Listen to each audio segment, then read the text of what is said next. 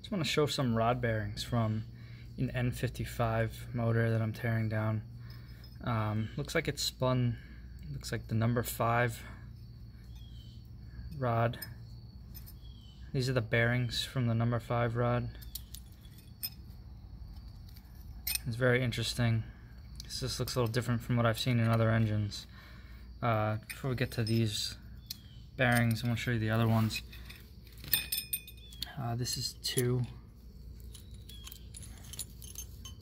This bearing and cap doesn't look too bad. Um, there's a gouge in the middle there. Might be some foreign crap that dragged through the middle of the bearing, but otherwise this bearing's pretty good. I don't know why every engine I've torn down, all the bearings have been discolored like this. Um, probably just from age, but again, this is number three. There's nothing in this bearing that you can feel catch a fingernail in. There's some streaks through it, like it uh, dragged some dirt through this journal, but nothing crazy. Again, here's four, four. Again, same thing. Doesn't look too bad. A few streaks in it. Um, then you get to number five, and I can only imagine what happened here. Um, probably detonation or knock, but this bearing is just pounded. You can see where the edges of the bearing have been pressed into the bevels in, on the crank. There's little grooves on the edge of the crank for oil to escape out the edge and this bearing has just been pounded into that groove. I mean it's fairly flat. It should not have this like scalloped look to it where it has lips on the edge like that. It should be flat. Um, Here's the number six bearing for comparison's sake. You can see this one also looks like uh, it's got a lot of wear on the back side of the bearing, dead center. And this is the, the cap side. The, the rod side, uh, or the upper bearing, usually takes more of a beating. But you can see the, these lower bearings, as I pull them out, have a lot of wear dead center on the bottoms. Um, I don't know, from knock or, or um, what have you, but this was a JB4 car. I think the owner probably ran it on map 7 on regular 93 octane. car was probably knocking quite a bit. Not really sure honestly what happened here, but uh, I just wanted to make a video of this because these bearings look a little different than other failed bearings I've, I've come across. Usually they're just shredded and destroyed. I mean, these look like they spun, but they're they're perfectly smooth. You know, this car didn't even didn't even really make noise until it got hot. It started to knock a little bit, but it was very subtle. Um, yeah, these bearings were spinning. Interesting. And the cap. Where's the cap? So I've already put a new bearing in this cap. Um, this cap has taken a lot of abuse. It's blackened from all the heat that it's taken from that spinning bearing you know, it's not getting the proper oiling through here to keep it cool. You know, the oiling doesn't just provide a cushion, it also um, doesn't just lubricate the moving parts and keep them separated, it also carries away heat. So with the, with the absence of the oil, this rod took a lot of heat. I can, I can would bet any amount of money that this cap is no longer round. Um, if I bolt this up, I'm sure this rod will be out of round and the structural integrity of the rod is, is not there anymore, but um, this is one of the reasons why when you when you do have failed bearings, I mean, you know, your motor's pretty shot. You could tear it down, but I mean, this rod really should be replaced. Um, I've seen worse, but it is what it is. And com for comparison's sake, here's a regular regular cap. Here's the one that spun, and just I can just tell it's not round anymore just by looking at it, but if I line up the caps perfectly, edge to edge, you can see that they don't match up anymore. You know, one is a little bit past the other. This one is more pinched inward. That's the, the good one. The bad one's like pinched inward and elongated in the center here. Um, if you compare two good ones, they, they pretty much line up perfectly from edge to edge.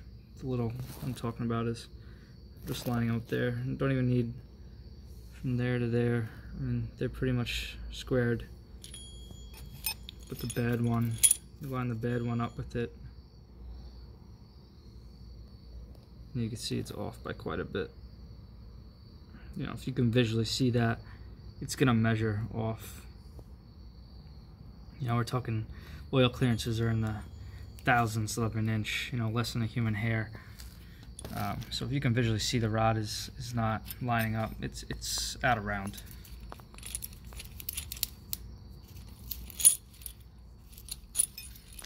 But we will slap bearings into this and see how long it runs. And I'm going to show you what I'm doing now with the crank. Which actually looks miraculously good.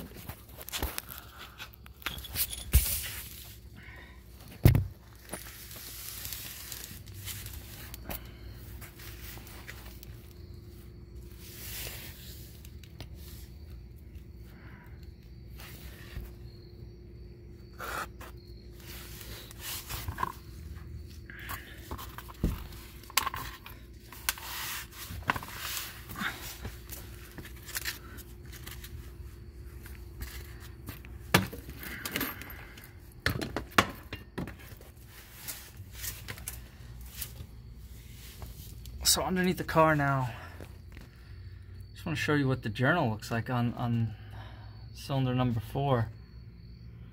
It actually doesn't look all that bad. Um, you know, again, I've seen a lot worse. There's actually nothing here that I could catch my finger on.